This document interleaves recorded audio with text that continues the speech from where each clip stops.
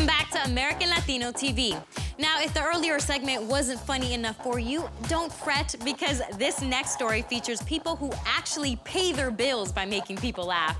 So we sent our own Alexis de la Rocha out to a comedy club in Hollywood to do some recon at the phenomenon that is Latino Comedy Night, a staple of comedy clubs in New York City and Los Angeles. Take a look.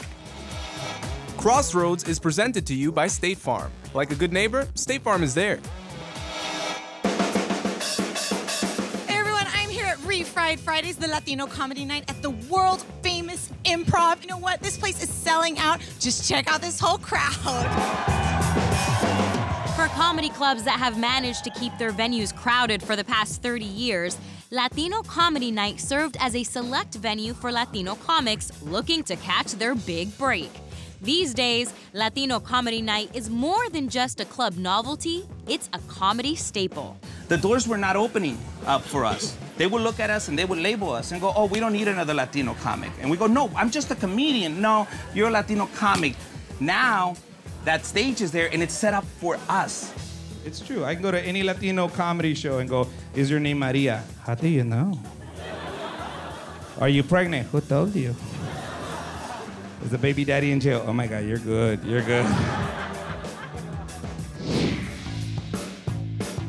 What once was an evening where non Latinos might have felt excluded from the inside jokes has now evolved into a night where a much broader audience looking for some laughs is in on the joke. So, James, why did you come out here tonight? Well, one, one, we both love comedy. You can't get enough of it. We're from San Diego, so we came up here actually just for the comedy. If it's really funny comedy, it's just going to be comedy. It doesn't. You don't care about your race or whatever. I just happen to be a comedian who is Latino, but my comedy's not just for Latinos; it's for everybody. While the audiences have broadened, the fans of Latino comedy nights continue to attract A-list comedians looking to test their acts before performing their latest material for the rest of the world. I love stand-up. I love that I get to write my own stuff, perform it. Like if you are in my life, you will probably be in my act in some way, shape, or form. So every night before we would go out, we would change our voicemail greeting to be something really clever and cute. Yeah, what's up, what's up? You know, you gotta hold up, go ahead and drop that message or drop that line, and whenever I get back to you. Dave Chappelle came in the room, did an hour and a half. I went on after him, did just fine. It's not a Latino crowd, just people. I don't, I don't make my act just for Latinos. I make my act for human beings, period. My dog's a hero. My house was on fire and he came to save me. I'm like, you stupid lady, he was saving himself.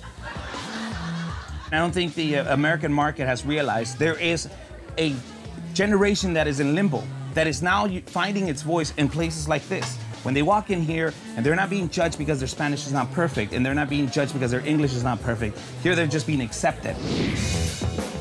Whether you watch them in order to tap into the voice of this generation of Latinos in America, or if you only do it for a good laugh, Latino comedy nights are proud, loud, and here to stay. The only way we're gonna make a difference is if we keep coming out and we keep selling this place out and we keep letting the industry know, hey, Latino night is hot. We'll be partying up tonight. See you there. If not, be square. All right, then, we're out. Late goes, peace, outie, gone. up next, meet a pro surfer who's no joke. And later.